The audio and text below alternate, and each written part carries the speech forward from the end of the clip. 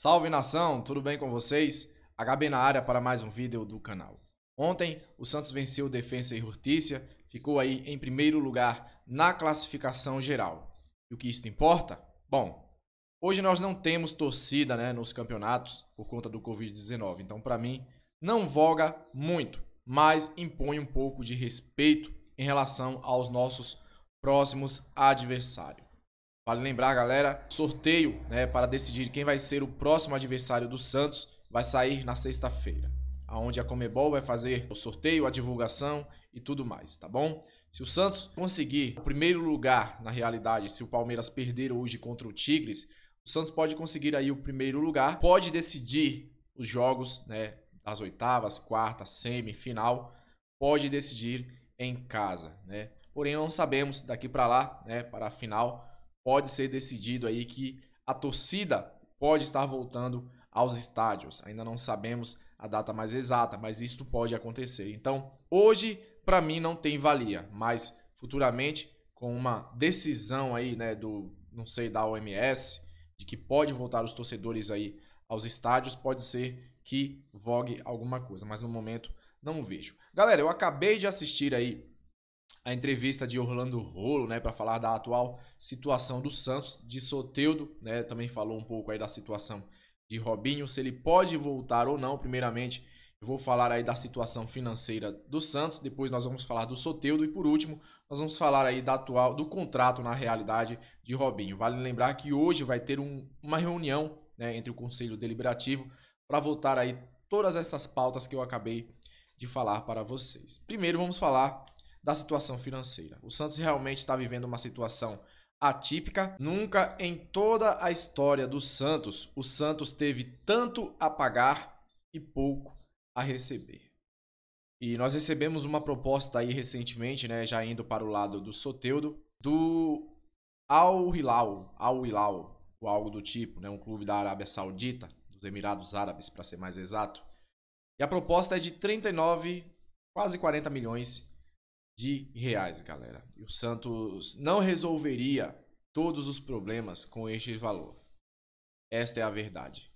Porém, o Ruat Pato fez uma proposta aí para o Santos é, e vai ser analisada hoje na reunião do Conselho Deliberativo, né, de repatriar o jogador, uh, depositar na conta do jogador um milhão uh, de reais para que o Santos não fique devendo nada para o jogador. O Santos ficaria com 10% do jogador no caso de uma futura venda. Com certeza, se eles estão querendo isto, sinceramente, acho eu já deve ter alguma venda engatilhada. Pode ser algo do exterior ou pode ser algo do próprio Brasil. No momento, eu sei, o Santos vive uma situação extremamente difícil, galera. Difícil para o torcedor, difícil para os gestores, né?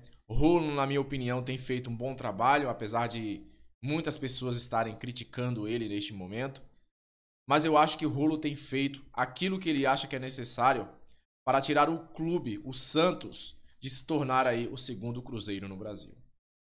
Galera, olha, o Santos tem receita para receber, passou de fase agora da Libertadores e Rolo também falou sobre isto.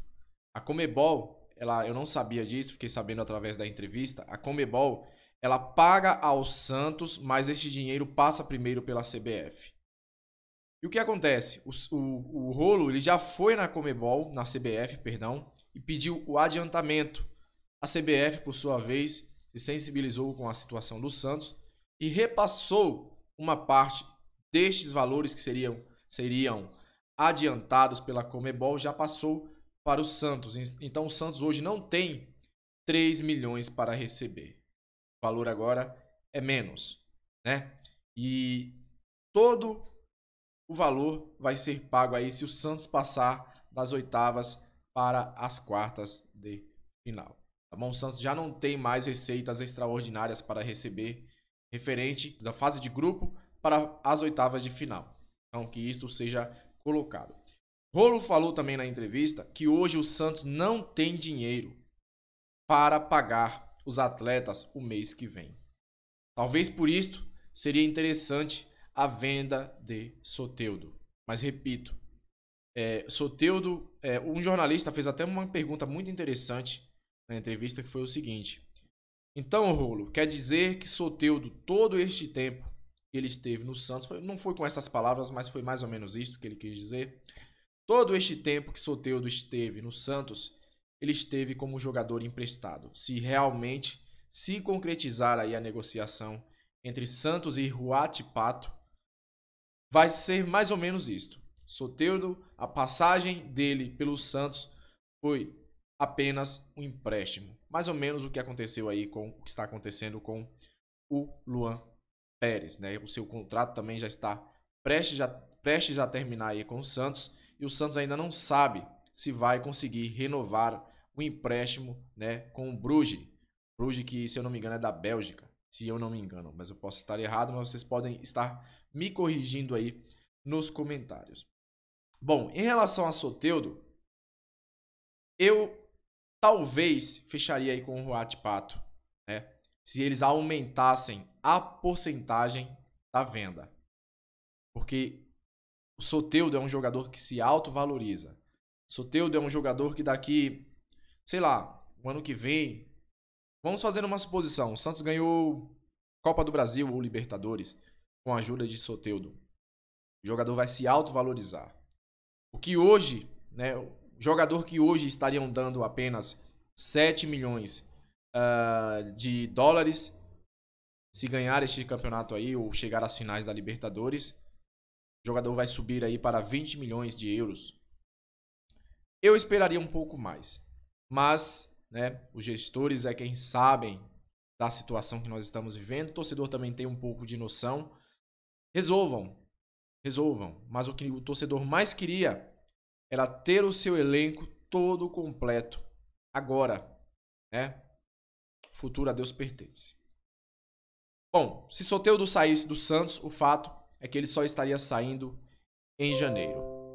Em janeiro, perdão, galera. Notificação chegou aqui. Ah, olha, em relação a Robinho, vamos sair um pouco do assunto aí, Soteudo, e falar um pouco sobre o Robinho. E algumas pessoas estão perguntando, tá, e se ele conseguir provar a sua inocência, ele pode retornar, retornar para o Santos? Bom, Rolo deixou bem claro na entrevista que se for provado mesmo a inocência do jogador, se ele conseguir provar a sua inocência, o seu contrato está apenas suspenso, né? Provando a sua inocência, ele pode retornar para o Santos. Tá bom? Ele não criticou, né, como delegado que ele é, né, a profissão do Rolo é delega ele é delegado, para quem não sabe, para quem não viu a entrevista. E ele falou que já julgou muitos casos.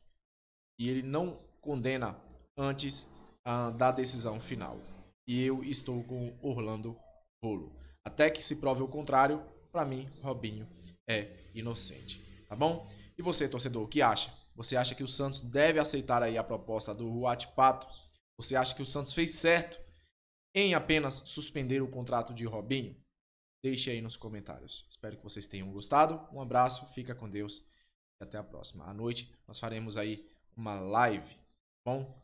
17, 18 horas por aí, tá bom? Se torne membro do canal para que você esteja concorrendo aí à camisa oficial do Peixão, que vai ser sorteada aí dia 31 deste mês. Hoje é dia 21, faltam apenas 10 dias. abraço, fica com Deus e até a próxima. Fui.